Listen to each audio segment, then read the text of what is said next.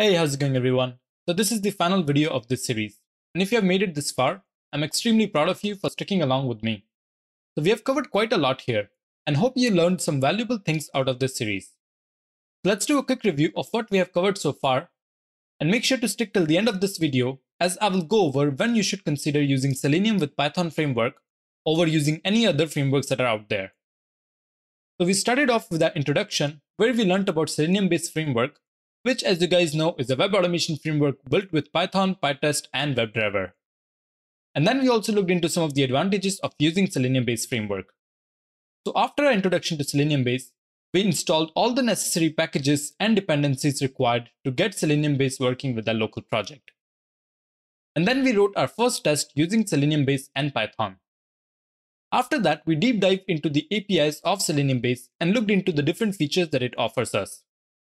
We also covered how to work with various elements and looked into setup and teardown method for optimizing our framework. From there, we moved on to building our test framework. We began with learning page object model and how to implement page object model within our test. Then we also learned how we can stabilize our framework by learning different wait methods that are available to us.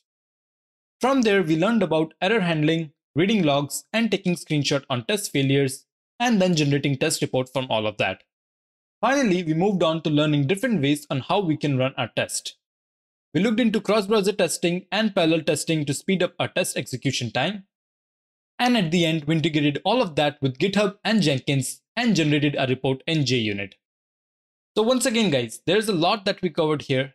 And honestly, if you were able to get through all of these videos, then you will easily be able to crack through the interviews by explaining all the concepts that we have covered here. And also get a job as a Python Selenium automation engineer.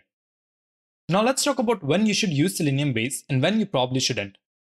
So the answer is simple. If you have resources within the team that already knows Python, such as QA team members or the development team members, or let's say if Python is one of your primary languages within the team and majority of you guys are comfortable using it, then I would highly recommend for you guys to going with the SeleniumBase framework.